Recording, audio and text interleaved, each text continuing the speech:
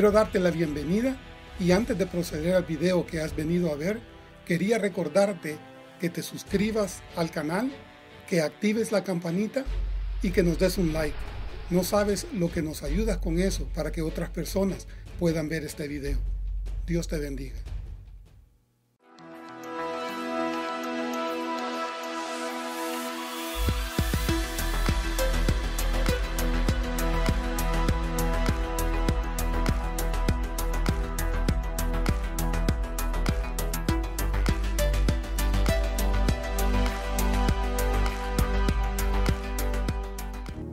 La reflexión de hoy, no puedes escapar de su presencia.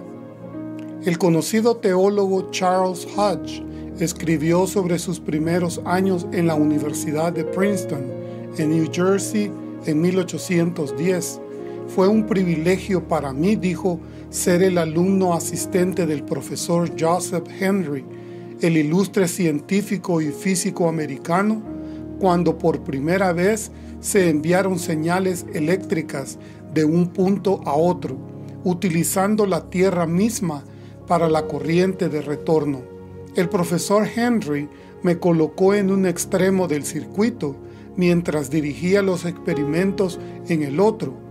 Puedo recordar muy bien el maravilloso cuidado con el que los dispuso.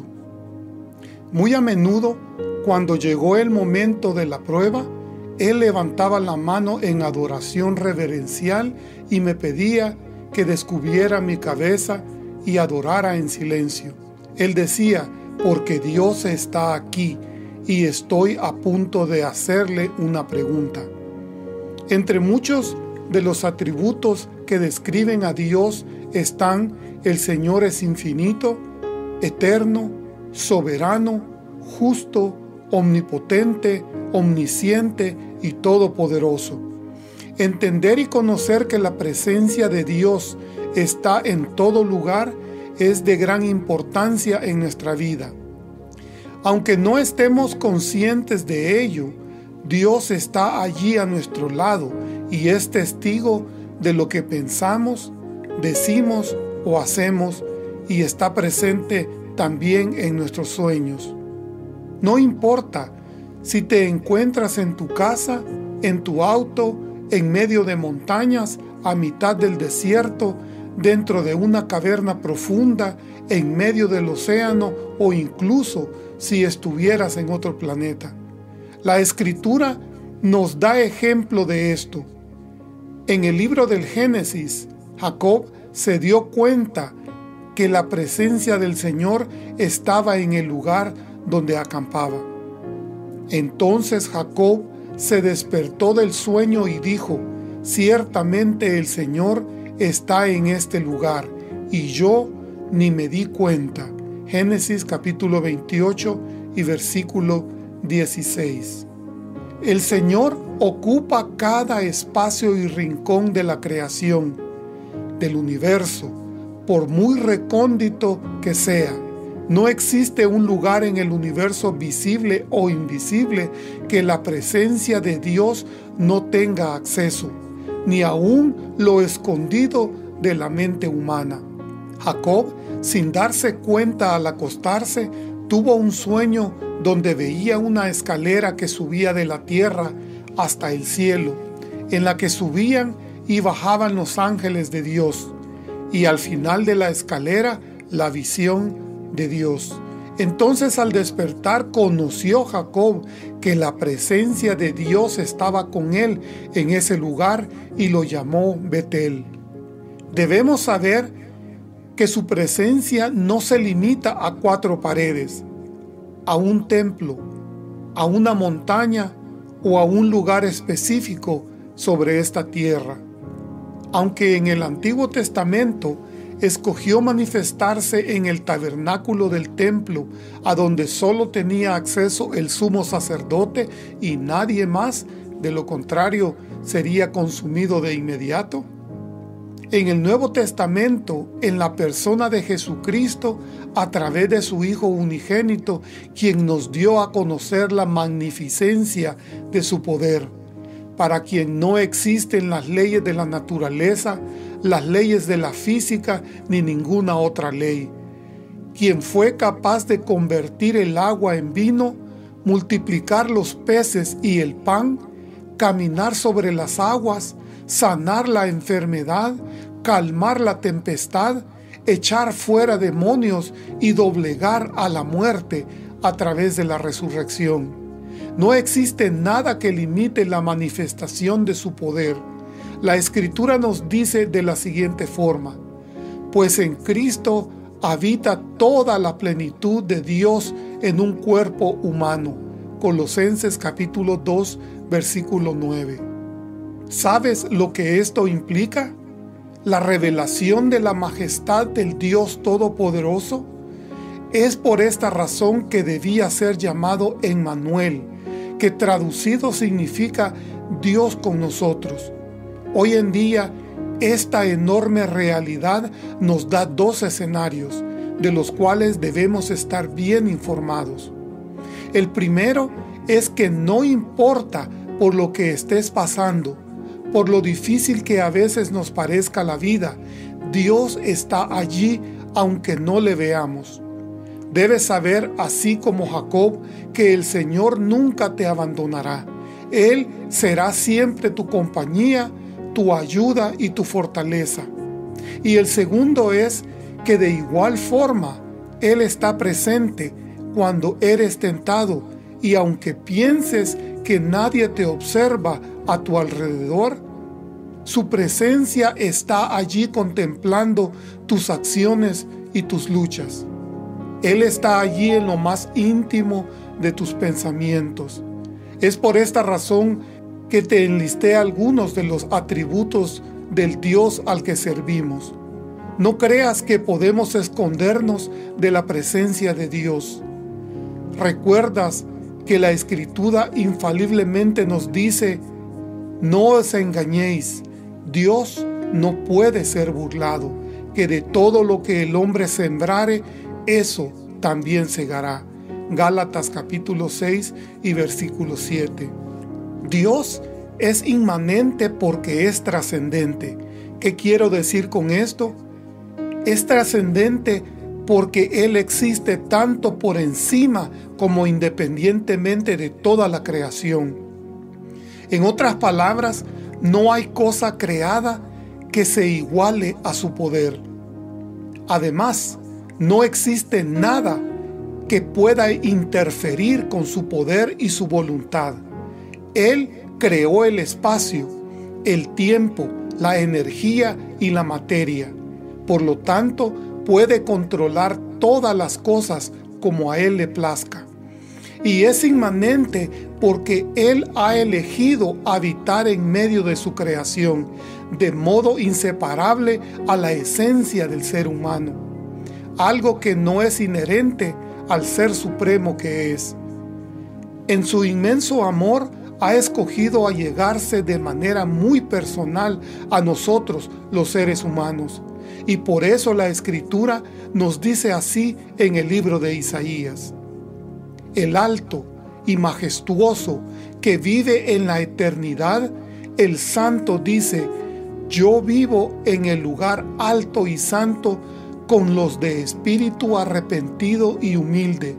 Restauro el espíritu destrozado del humilde y reavivo el valor de los que tienen un corazón arrepentido. Isaías capítulo 57, versículo 15. La presencia de Dios es la meta y el fin del plan de salvación. La Biblia deja en claro que la presencia de Dios es el objetivo principal en la misión redentora de Cristo. Toda la obra de Dios al final de los tiempos termina con la morada del Señor en medio de aquellos que aceptaron su redención en la sangre de su Hijo Jesucristo. La presencia de Dios no es solo su objetivo, también es el medio por el cual se cumplirá esa misión redentora. El Señor puede escoger vivir en la vastedad del universo, en lugares donde la mente humana no puede alcanzar a comprender, mas sin embargo ha escogido morar en el corazón humano y al final de los tiempos habitar con su pueblo. ¿Cuántas veces he deseado poder imaginar cómo es el lugar donde Dios mora? Recuerdo que desde niño me acostaba sobre el techo de mi casa viendo hacia el cielo y queriendo imaginar la inmensidad del universo y el lugar donde mora Dios. Pero nuestra mente es tan limitada que no puede alcanzar a imaginar lo que nunca hemos visto. Sin embargo, un día podremos conocer lo que hoy no conocemos. Podremos entender lo que ahora no entendemos y podremos ver lo que nuestros ojos jamás han visto. Mira lo que nos dice la escritura en el libro de los Hechos. Sin embargo, el Altísimo no vive en templos hechos por manos humanas. Como dice el profeta, el cielo es mi trono y la tierra el estrado de mis pies. ¿Podrían acaso construirme un templo tan bueno como ese? Pregunta el Señor ¿Podrían construirme un lugar de descanso así? Hechos capítulo 7, versículos del 48 al 49. Quiero que pensemos en algo muy, pero muy delicado e importante. El Señor, en su inmenso amor y misericordia, quiere compartir y hacernos partícipes con su Hijo unigénito de la herencia celestial, Tú y yo tenemos una ventaja sobre la creación, según la carta a los Hebreos capítulo 1 que no vamos a leer, porque nos dice que a ninguno de los ángeles el Señor lo ha llamado su Hijo, sino que adoran a su Hijo como lo adoran a Él. Sin embargo, a nosotros nos promete ser coherederos con su Hijo. Qué privilegio más enorme tenemos tú y yo. La carta a los Romanos capítulo 8 versículo 17 que tampoco vamos a leer nos dice que si padecemos juntamente con Él, con Cristo, juntamente con Él seremos glorificados. Esto lo ignora mucha gente. Otros no le dan la debida importancia porque no se detienen a pensar lo que esto significa. Otros que estamos entre su pueblo nos dejamos dominar por la tentación del maligno y convertimos un momento de placer en el arma que podría destruir toda esperanza nuestra de alcanzar la salvación y la vida eterna junto al Creador de todo lo que existe. En cierta oportunidad, un joven cuya esposa había fallecido, dejándolo con un hijo pequeño, al regresar a casa del cementerio, se fueron a cama temprano, porque no había nada más que pudiera soportar hacer en medio de su tristeza y su dolor. Mientras yacía acostado en la oscuridad de la noche, afligido y con el corazón roto, el niño rompió la quietud con una inquietante pregunta. Papá, ¿dónde está mamá? El padre se levantó y llevó al niño a la cama con él. Pero el niño todavía estaba perturbado e inquieto. Ocasionalmente le hacía preguntas como ¿por qué no está ella aquí? ¿Y cuándo regresará? Finalmente el niño le dijo a su papá, Papá, si tu cara está hacia mí, creo que podré dormirme. Al poco rato se quedó dormido. El padre yacía allí en la oscuridad y luego con una fe infantil hizo esta oración. Oh Dios, no veo cómo podré sobrevivir a esto. El futuro parece tan oscuro, pero si tu rostro está hacia mí, de alguna manera creo que podré superarlo. Eso es lo que vino a enseñarnos el Mesías, que el rostro de Dios siempre está en dirección a nosotros. Si nos llegamos a Él con fe, nada podrá separarnos jamás de su amor. Eso es una seguridad real. pero debemos nosotros también ser leales al Señor en palabra y en hecho. Mi querido amigo y hermano, el Señor, siendo rico, dejó su habitación por venir a buscar tu alma y la mía. Nos mostró que no le importó bajar a esta tierra y dar su vida en expiación de la nuestra. ¿Qué has hecho para merecer tanto amor y muestra de misericordia?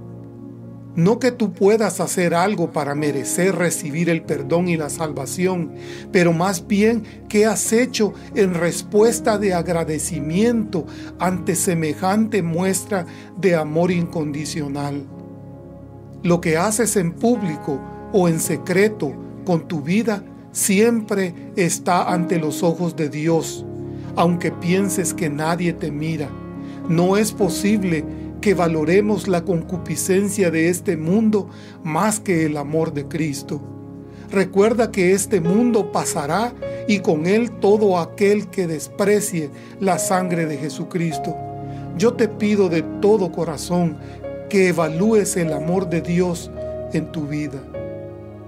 Nuestro amoroso Señor y Dios, ten misericordia de nosotros que somos pecadores. Abre nuestros ojos quita las escamas de ceguera que el enemigo pone en nuestros ojos para no alcanzar a ver lo grande y maravilloso de las promesas que nos has dado en tu palabra. Que nuestros ojos vean el resplandor del Evangelio y la vislumbre de lo que nos has ofrecido al aceptar la sangre inocente de tu Hijo en la cruz Anhelamos finalmente estar en tu presencia por la eternidad. Perdona nuestra ignorancia y nuestra altivez. Te lo pedimos en el nombre de tu Hijo Jesucristo. Amén.